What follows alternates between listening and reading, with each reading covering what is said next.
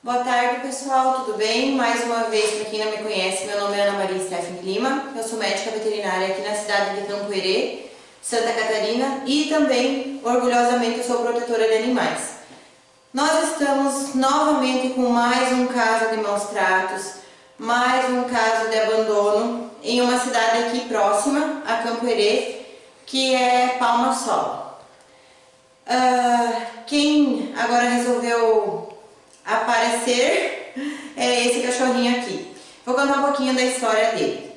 Graças ao Anderson Júnior Finardi Spilman, ele veio até nós hoje com uma ligação. Ele trabalha na Celeste, lá em Palmasola, e esse cachorrinho há dias que vinha aparecendo lá. Então já deixando meio que claro que ele é abandonado, porque sempre ele frequentava e passava por lá onde o Anderson trabalha. Só que até então esse cachorrinho não estava machucado. E hoje ele passou por lá e viu que ele estava machucado. Então, olha, dá uma olhada aqui nesse machucado, tá? Quando ele chegou lá em Palmasola, uh, lá na, no pátio da Celesc, o Anderson percebeu que ele estava com esse machucado aqui enorme, tá? Já tá com inflamação aqui, ó. Até ele nem quer que encoste muito porque dói. Isso aqui tá tudo infeccionado, tem bastante infecção.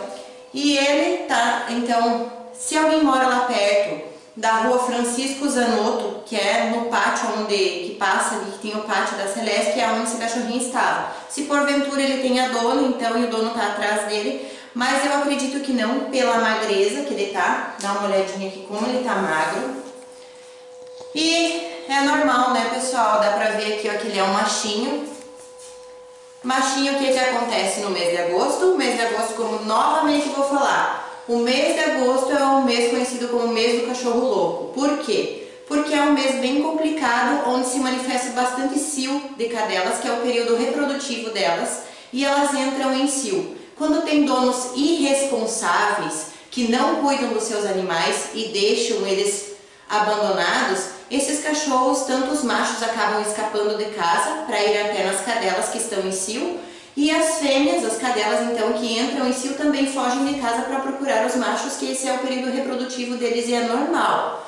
O que tem que ter é um dono consciente, que tenha pátio fechado, que no mínimo faça ao menos a castração para os seus animais, né? E também o mês de agosto já recomendando o pessoal dê uma olhada na carteirinha de vacinação dos seus pets, tanto de cães como de gatos, porque o clima do mês de agosto ele é frio e úmido, e ele favorece ao desenvolvimento de várias viroses. Então mantenha a carteirinha de vacinação em dia. E até mesmo por esse aglomero de animais, a transmissão dessas viroses é muito comum.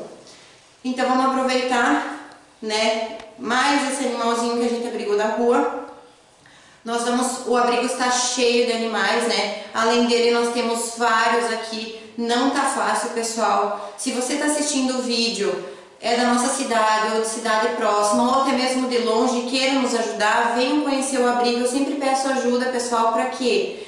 Para a ração desses animais. Todos eles a gente tenta encaminhar castrado, tanto os machos como as fêmeas para adoção. Nós precisamos tratar esses animais, manter os canis e a higiene dos animais sempre em dia, porque não adianta tirar da rua e não se preocupar com a castração e com a vacinação, que é a saúde deles. Então, por favor, pessoal, nos ajude, mais esse nós estamos pedindo, porque mais uma vez, se eu e o Anderson tivermos que dividir as despesas dele, fica muito caro para uma ou duas pessoas. E são poucas as pessoas que nos ajudam, até gostaria de agradecer as pessoas que apoiam o abrigo, que sempre estão nos estendendo a mão, nos ajudando financeiramente e também aos nossos clientes, né, que sendo cliente com certeza do abrigo Erepet, do Erepet, do Banitosa, fazem as vacinações conosco, também estão nos ajudando e muito. Nós temos ainda os calendáriozinhos, eu sei que a gente já está no mês 8, né? Até esses dias os meus amigos brincaram comigo, ah Ana, tem que cobrar metade do preço do calendário, porque a gente já passou da metade do ano, mas infelizmente a gente não conseguiu vender todos, não foi uma boa, uma boa venda, né? porque infelizmente o pessoal, quando é para ajudar animais de rua, o pessoal é meio relutante.